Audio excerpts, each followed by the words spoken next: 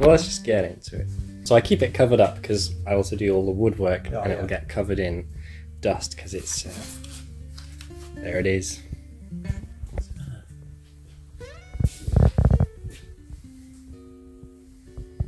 That's cool, yeah. Yeah, it is mini, isn't it? So what's going on here is this whole table and the motor and the bit in there Yeah. was an industrial sewing machine that I was given for free. Yeah. They were just going to take it to the dump. Yeah. Um, and then, well, I really I started with the wood lathe, and I've had that for a few years. But it's a gateway. Makes you want a milling machine. It makes you want a metal lathe, Yeah. and then you just. But I don't have space for all these big machines, so I ended up looking at a mini thing like this. And given that this is already on a table and it's mobile, that seemed to work quite well. Yeah. Um, I set it all up. I like bolted the things down. Hmm. This like cavity here is where the actual sewing machine Oh, head yeah, used yeah. to sit. Yeah. Um, but it's ended up being where I can put the tools because you're always obviously dealing with round shit and it won't roll off the table that No. way. Screwdrivers and stuff, you just put it in there and know it's going to stay there. So that's really good. I bolted it all up and then I was like, ah, motor's going the wrong way. and and this was uh, spinning up instead of down. Um, and then so I scratched my head for many days and then eventually I found the solution was to just twist that and like it's going to definitely reduce the lifespan of the belt but It's not three phase, is it? uh, no no just mains So Um, thinking if, the motor turns the wrong way, you just swap two phases and reverses. yeah the same if it's dc you just reverse the polarity that's what i was expecting it to be Yeah. so i didn't really give it much thought i was like whatever happens i can just switch it but Yeah. it's actually an ac one which you have to physically remove the coils and flip them over the the copper inside for it so so that was way too hard and i was like i do not want to open that thing No.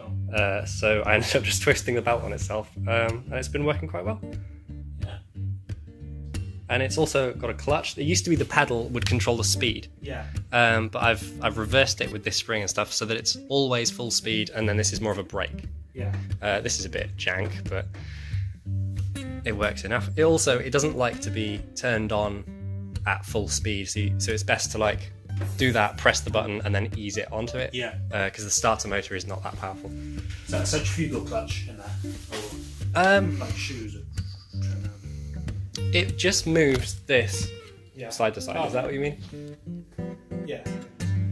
Yeah. So, so there's going to be like some magnetic field there, Yeah. and then this moves closer, and then it starts going. Yeah.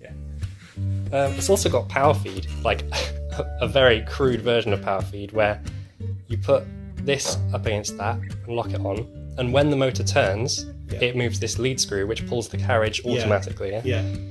This is from the 1950s. It's a FlexiSpeed Mark II, made in Sheffield, back when Britain used to make things. Yeah. Um, and then also the the sewing machine happens to be, I think, 50s or 60s as well. So I've taken these two vintage bits of kit that were destined for the dump, and I've put them together, and it's actually working surprisingly well. Yeah. The problem, though, that I'm, I keep finding is that all of the threads and everything are old Imperial that we don't make anymore. This is a half inch British standard fine. So it's not universal, it's not metric, No, it's not no. like, and it's really hard to find stuff like that. So what I've had to do is um, make a hole and thread it myself hmm. uh, because I could find the taps, but I couldn't mm-hmm. find any like adapters at all for, No. for chucks. And, and what I really want is to put this chuck. Maybe you should hold this. so this chuck, oh yes, it's got no thread, um, so it needs a back plate basically, and that's what I'm trying to build here. So I've drilled the hole, I've threaded it, that goes on there, and then w- what we need to do today is make three extremely precise holes that will correspond with those three and go on there. I'm not very good with precise. Me neither. So, and and it really, really needs to be perfect because any amount of run out, like obviously that's Yeah. extreme, Yeah. then it will not be concentric. No. And then the piece obviously that you're trying to turn is not concentric, so that's going to be a mess. I expect it to go wrong, but I thought the taps are not that expensive, this material's not that expensive, it's worth a go. And then if we do manage to get it pretty close, then then we might be able to do something with it. The, the other idea is that if I make, if this goes well, uh, then I can also make a larger one, not, not even a larger one, same size, but with a larger hole that would fit on the big lathe. Yeah. so that I can use the chuck on both because I haven't got a three jaw for the wood lathe. So being able, if we can make faceplates easily, then I'll be able to put it on both, and that'd be super useful. This is my practice piece, and this happens to be uh, one of the ingots we made in the furnace video. So this is like 50 Diet Coke cans has been turned into this, and it's threaded. Look at that. These are the cutters. That goes in there. Tighten that down, and then the whole carriage can move up and down, or in and out, or you can even rotate it and do a taper. Any drill bits? I can't actually get this spike out. I'm pretty sure you're supposed to be able to put drill bits in it, Yeah. but I can't get it out. The sleeve and that spike are just one piece. Like obviously they're not the same yeah. material, but I can't I can't get them off. How much do you reckon that's worth? I don't know. Given that it is vintage. Uh, 250 quid? uh, it, you're you're absolutely right. That's what it should have been worth, but I got it for 150. So let's try and I don't know. The I don't even know how we're going to transfer that shape to there. Like maybe tracing paper or something. Like you're the engineer. You gotta you gotta come up with the yeah. Yeah. Uh, tracing paper. If you have like a crayon, maybe like that. Paper on. Okay. What do you think the chances of us drilling a hole that is close enough? M6 bolts, so they're, they're quite big, and it, it doesn't have to be super perfect. It's got to be pretty close. Yeah. So I got some paper, and the only I couldn't find crayon. I could find chalk, but there's there's also white.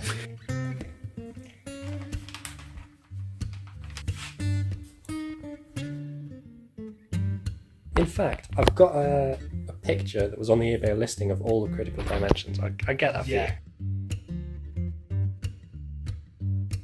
The edge of that hole. Mhm.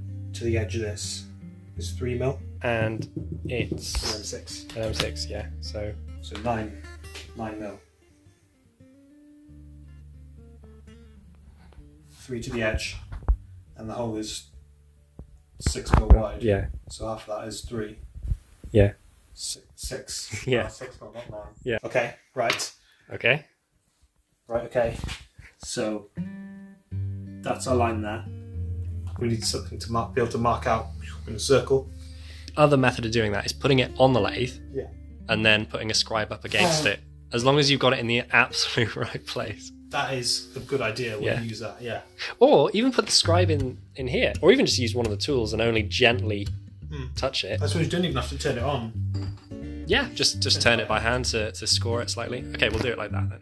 Where that mark is there. Can't really see a mark. Do you want the scribes to actually Yeah. Yeah, I didn't. I had scribes. I showed you earlier. These. Centre punches. Oh sorry, centre punch. You're right, it even says it on it. What's a scribe then? What does that look like? It looks a bit like that. This is the Swedish military knife that uh, was in the arrow making video.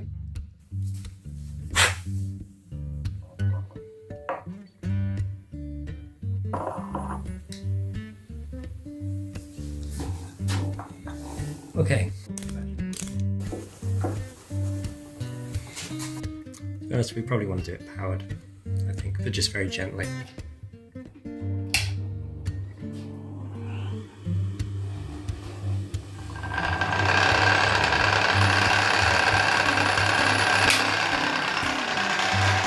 gotta wait for it to uh, slow down. You can stop it immediately, but the actual motor keeps going. So that, that's one downside of this sewing machine motor is that I have to wait seven minutes for it to run down.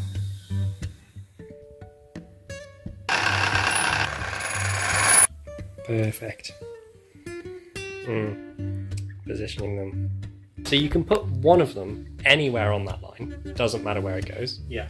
And then the other two, just make sure they're absolutely, was it 55 or something, away from each other? Or, or whatever the measurement was. There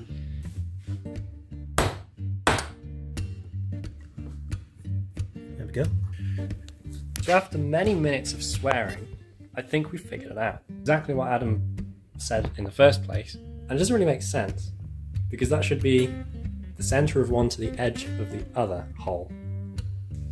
I guess because it's a triangle, maybe you only add it once, and then the next line that you do adds the next margin, and then because they, they all sort of feed into each other. So by the time you've gone around the whole triangle, all of it is accounted for. Adam's concentrating and doesn't really care. There's also a debate that we shouldn't really be using aluminium for this kind of thing at all because it's too soft. You should use cast iron usually or steel.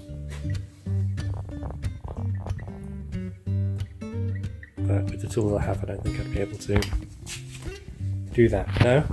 No. What's wrong? We got again. We got fifty-five. Yeah? That's not fifty-five there. Jesus Christ. It's fifty-five to these two. Oh my god, the same thing again.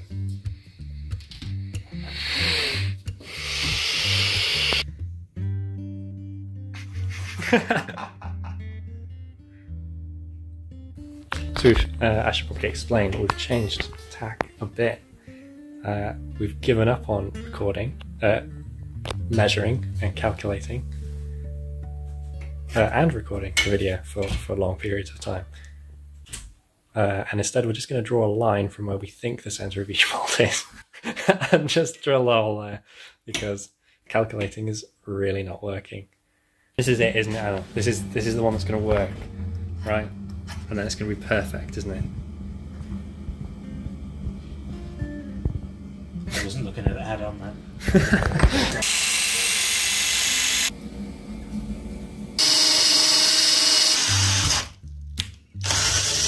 I'm going to be surprised, honestly, if it fits.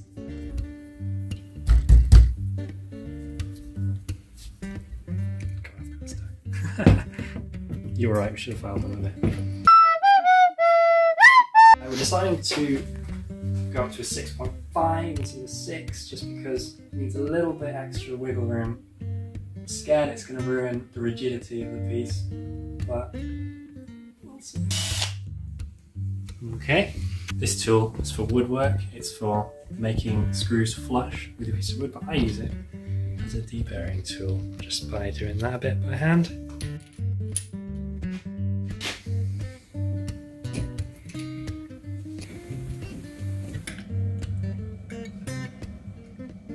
This is probably the coolest thing we've ever made on Science and. In fact, because we don't make things, we, we never make anything. I've always wanted to. Uh, Make dreams come true.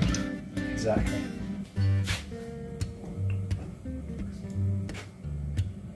But it looks cool, honestly. If nothing else. So the visual check. It's not that bad. Does it look bad to you? No, it doesn't. Actually looks alright. Let's get the gauge. So this um, is not foul. It's 0.01 millimeter. Is that a hundredth of a millimeter?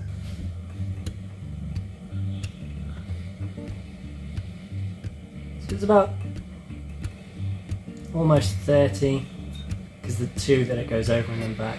I would say it's within 30 hundredths of a millimeter. I mean, from from guesswork, guessing where the holes were going to be. Yeah, Basically. I, I'm pretty impressed. Thank you very much, Adam. You are hired by Science of the Greg Corporation, uh, and he will be in many future videos with us, I'm sure.